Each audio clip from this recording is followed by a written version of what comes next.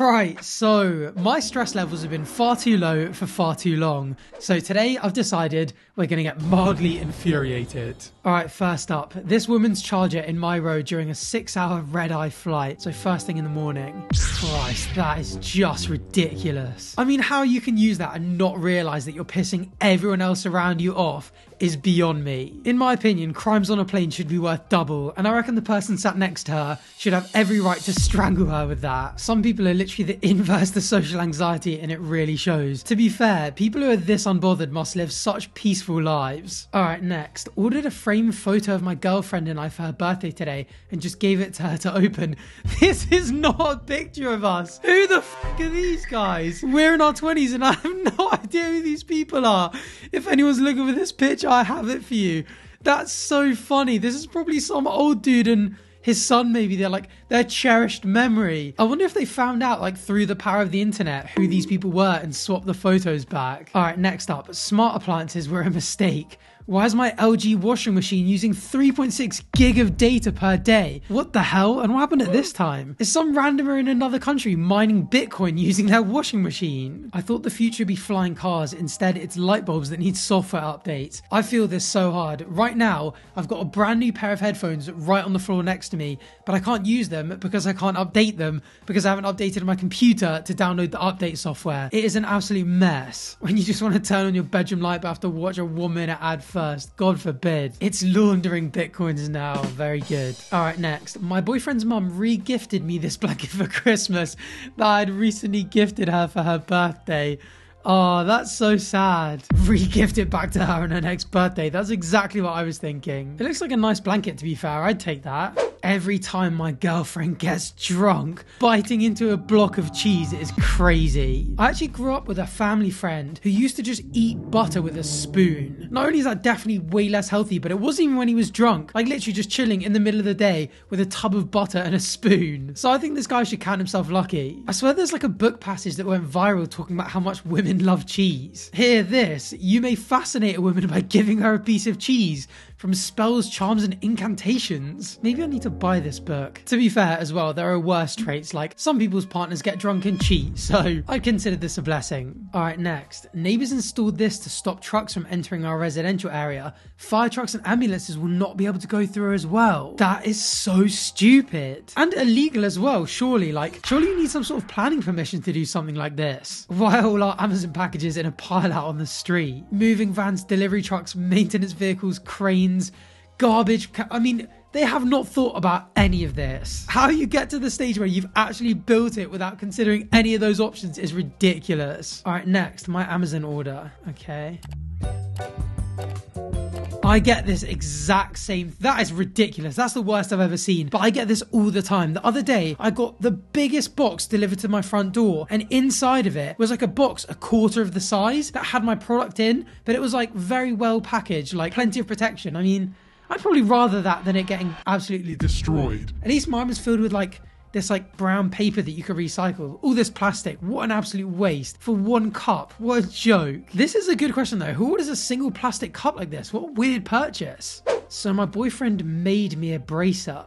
Okay, that looks quite nice. I've been in a long distance relationship for about six months, and until last week, I was fairly happy. I love doing live role playing and crafting gifts for friends and family. Among other things, I made a bracelet and a 108 bead mala, which is some kind of rosary for meditation, and gifted him those for his birthday and Christmas. How sweet. I never asked for anything in return, and I'm fully aware not everybody is adept at crafting, but for months he has hinted at making something for me too. He told me he likes to sew in his spare time and eventually revealed the gift to be a bracer in a video chat. I was very impressed with this craftsmanship. The Christmas parcel arrived last week, mailed on the 26th. I was overjoyed wearing the bracer, singular. He told me he had enough time to make two, under my clothes all day because it made me so happy that someone made time and effort to craft something for me. Until the moment I browsed for something else on Amazon and suddenly saw the company sold a pair for 1990, which looked mighty familiar. No way. That is exactly it. Oh, that's so sad. What's he done? Just kept the other one. So he's basically lied and given her what is essentially 10 euros worth of this 20 euro purchase. When I called him out on it, he claimed to have ordered the parts and assembled them himself,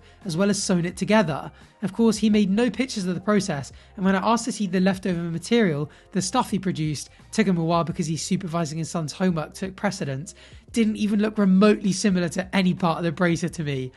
Obviously, when I told him this, he left, and I haven't heard from him since. Oh, that's awful. That's so mortifying. I mean, why you'd get caught up in such an obvious lie? Fair enough if it's something you bought in a local store, but like, what is probably front page of Amazon error. All right, next up, that mug. Happy Father's Day. No way. Oh, this is one of those terrible drop shipping ones. They've just uploaded the image of the mug with the song. They've just uploaded this image straight onto the mug rather than Happy Father's Day. That is awful. Why the hell does it come with a spoon? This is arguably better because it's so dumb. To be fair, a dad on Father's Day would find that absolutely hilarious. I'd still give it to him. I feel like my dad would enjoy that. All right, next up. Been asking my boyfriend to stop leaving hair on the shower wall. Go in today and there's a hair guitar. A hair guitar. A what? Straight after a Father's Day post as well. Very good. That's actually remarkably good as well. I appreciate his talent. Yeah, you should. Hope that's hair from his head though. All right, next. Roommate always pays rent in $1 bills. Why? My roommate works as a bartender so he gets loads of $1 bills. He usually keeps the bigger bills and pays the rent with the ones. Okay. I've told him various times to please change the bills before paying, but he takes it like a joke.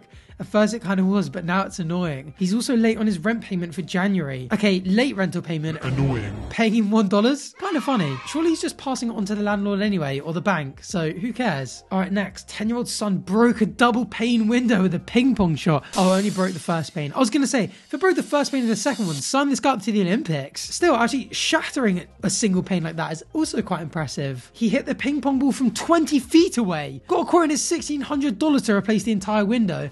Apparently, you can't just replace the glass. I get the feeling he probably threw the racket at it. That is a ridiculous amount of damage to do with a ping pong ball. I would genuinely be like, okay, recreate it. Smash this bit of the window pane with the exact same force then. And I bet he couldn't. All right, next. This bathroom mirror in my hotel room. Hello there. Oh my goodness. I'm 5'2. I mean, you are tiny and can't use the bathroom mirror. No step stool provided. I mean, maybe they should. That is quite a high up mirror, but you are short. Maybe try growing. Maybe that's actually how you look. Great, another unrealistic body expectation for women. Why don't women look like this in real life? Moving on. Showing up late to a planned dinner. Okay, I have the meat and onions ready at 5.11. Okay, coming soon. Okay, see you soon. 7.20 p.m. Two and a half hours late. I mean, two hours, nine minutes, but I'll forgive you for rounding up when you're angry. So sorry. Talking to Big Grandma and Jenny and Kim and her parents. Coming so soon.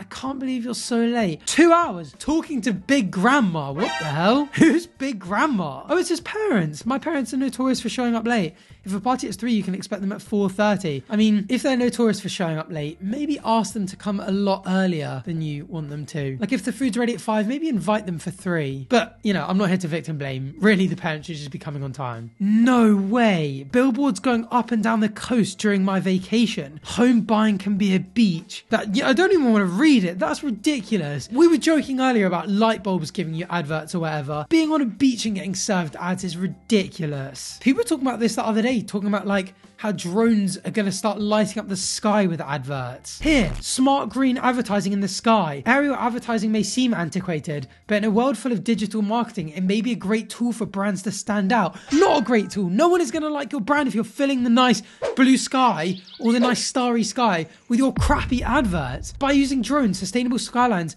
makes aerial ads safer, more effective, and significantly more environmentally friendly. No to all of those things. We want to see the sky. Drone startup plans to turn sky into an advertising space. Candy Crush says New York City skyline. No one wants the New York City skyline to be lit up with Candy Crush ads. This is sick. We need laws against this now. I will not buy your product if I see an ad for it at the fucking beach. Too right. All right, next. People rendering the concept of reusable cups useless. My goodness. This is one of those things, isn't it? These are these Stanley cups that just randomly, inexplicably become an internet trend. And someone realized the other day that they're filled with lead, like brain melting lead. It reminds me of this. Altogether, researchers estimate leaded gas has reduced the nation's cumulative IQ score by 824 million points, which is nearly three points per person. That's due to lead exposure in the US. That is mental. In a country where not a lot of them can afford to lose IQ points. And it looks like it's happening all over again. This person's IQ score is going to be in the single digits in a week.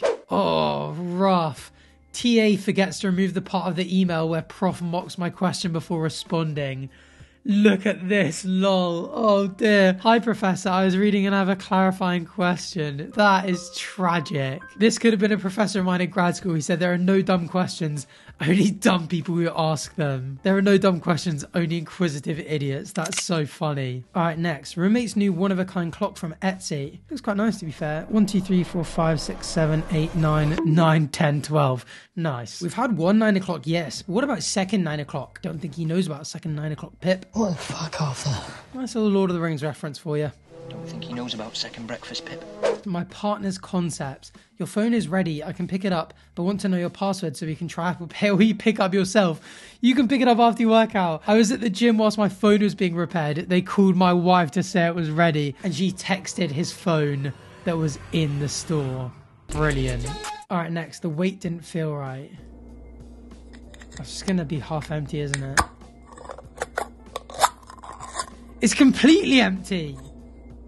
With maybe some water or something in it. What the hell? The cat when I catch you. Okay, I know this really sucks, but usually in these situations, the companies overcompensate to make it right. If you contact the company with this video, they'll probably give you multiple cases to make up for it. So I might have gotten a W. A nice positive glass half full outlook. All right, next. My bag of frozen veg said it contained corn, carrots, peas, and broccoli. These are the entire contents of the bag. One measly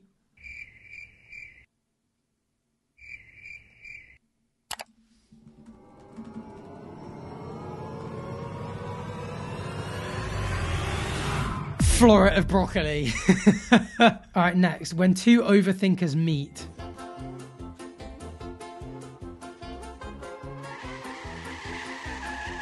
Oh my goodness.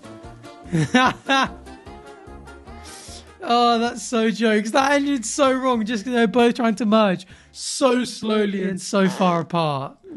it literally is overthinking classically captured. All right, next. My parents decided to clean my fish tank because it made my room look messy. Oh no, what have they done with the fish? My parents came over to visit for a few days and saw how messy my bedroom was. I was out today and came home to this. The tanks were completely empty, my fish put inside a measuring cup.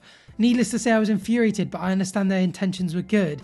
They're older and I cannot blame them. But to think years of hard work could be demolished in seconds. Crikey. I realise non aquarium people wouldn't know how bad this is, but damn, killed your cycle, destroyed the aquascaping, and I'm guessing stressed the f out your fish. As an avid aquarium keeper for many years, I know exactly how hard this hurts.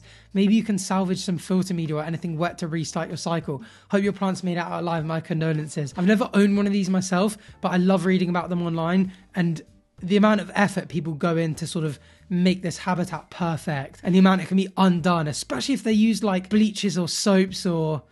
Jeez. Oh, here, update. They use powdered laundry detergent to clean the tanks.